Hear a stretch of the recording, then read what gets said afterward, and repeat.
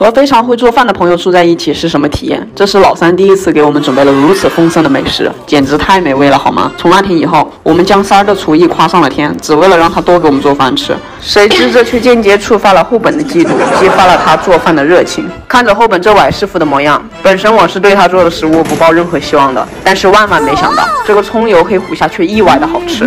这面包店那些卖的都有的一拼呢，真的好吃！我天哪，嗯嗯。其实对于我们其他人来说，把厨师哄开心了，才会有下一顿。只要有人做饭，使劲一顿夸就好了，这样他们才有热情一直做饭吃。好香，虎哥！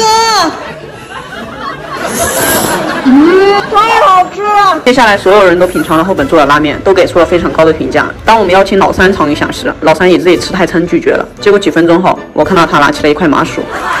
我刚吃完，刚刚这一大锅上来，吃得上。麻薯就吃得下，什么意思啊？看来这两人谁也不服谁呀！既然如此，那就来场比赛，一决高下吧。